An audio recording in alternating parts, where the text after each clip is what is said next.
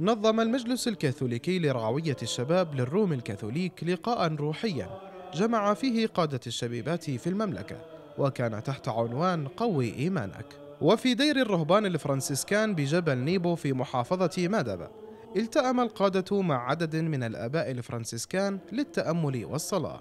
كما أقيم قداس إلهي ترأسه الأب فراس حجازين الذي تحدث في عظته للشباب عن المعنى الروحي لكي يكونوا قادة ملهمين للآخرين. خلينا دائما حبنا الأول مع يسوع ولقائنا الأول مع يسوع اللي نشجع دائما يكون فيه هو من خلال القداس ولكن نعرف مين لازم نلاقي يسوع أو شو بنلاقي في القداس هو يسوع.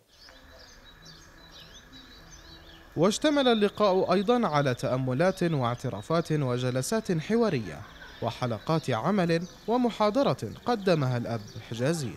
الأمانة هي عملها مستقبلا حتى فعلا آه، تخدم الرعاية تخدم آه، شبيباتها بالطريقة المسيحية بالطريقة الإدارية السليمة. مشان هيك اللقاء التنشئة اليوم كان بتركز عن القيادة. وفعلا أخذنا القائد المثالي في حياة الشبيبات اللي هو المفروض يكون السيد المسيح. وكل شاب أو صبية آه، عندهم المسؤولية للقيادة في شبيبتهم أنه يحملوا لهم هالتعليم السيد المسيح ويكون هو مرجعية آه، لهم في التعامل في العمل. حتى الشبيبات تكبر بحب المسيح وبالقيادة السليمة. حلو اللي عم بصير إنه في عم بصير تعارف وبصير في شغل أكبر بين كل شبيبات الروم الكاثوليك في المملكة. وهذا الحكي إن شاء الله حينعكس لقدام على شغلنا كمجلس كاثوليكي وكلجنة شبيبة. نحن اليوم مجتمعين بدار الرهبان الفرنسكان بجبل نيبو مسؤولين شبيبات الروم الكاثوليك آه، بالأردن. كان اليوم هو اللقاء التنشئة الثاني للمسؤولين. نحن بلشنا بشهر عشرة كان اللقاء الأول. هي سلسلة لقاءات رح تكون.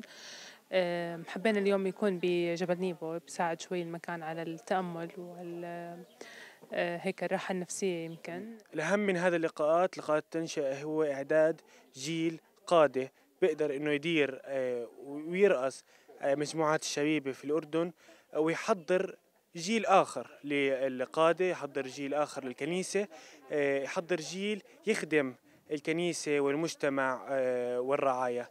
فاليوم خلال لقاء التنشئة اللي ركز على القادة اللي ركز على القيادة اللي هو القائد الأعظم هو يسوع المسيح.